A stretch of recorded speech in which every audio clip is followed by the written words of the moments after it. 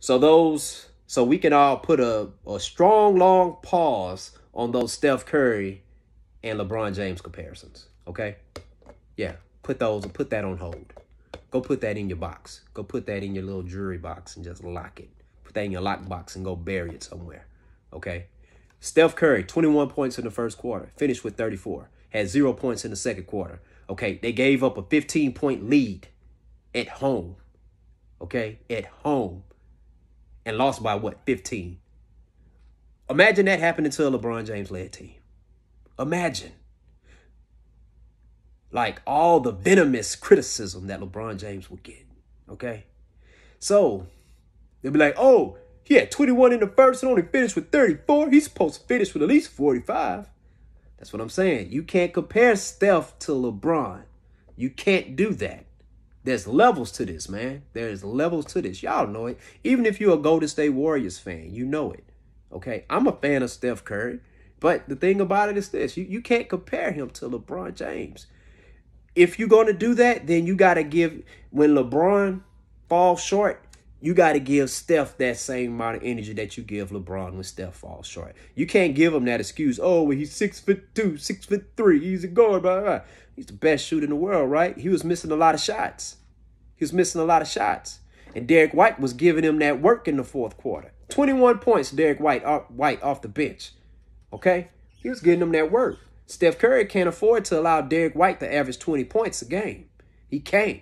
He can't. Because guess what? If that was happening to LeBron, we'd be like, well, he LeBron James, he's supposed to be defending. Now, is Steph Curry a better shooter than LeBron? Yes. Is he a better passer? No. Is he a better defender? No. Better rebounder? No. Okay? No, no, no. Better in the post? No. No, no. All right? But um, you got to got to ease on back on that, man. You know, like everybody was just rushing that and stuff. So it's like, hey, pump your brakes. Pump your brakes.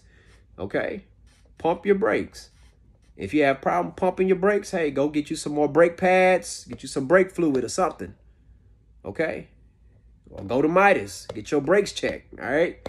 Share your thoughts in the comment section below and let me know. Bars. Damn, that rhyme, right? I wasn't even trying. Freestyle top of the head. All right, let me know. What do you think? Do you still think that we should that that um is still justifiable to compare Steph Curry and LeBron James? Also, here's the thing about that. All right. So Le- Michael Jordan, you know, before LeBron James even won a championship, they was comparing him to Michael Jordan. Before Michael Jordan ever won a championship, he was considered one of the greatest. He was considered the greatest of his era. Same thing with LeBron James. So you mean to tell me just because Steph, if he gets his fourth ring and he's tied with LeBron, he's on LeBron level, we could compare them. But if he but if he wouldn't have would not have made the finals, guess what? There is no comparison to LeBron.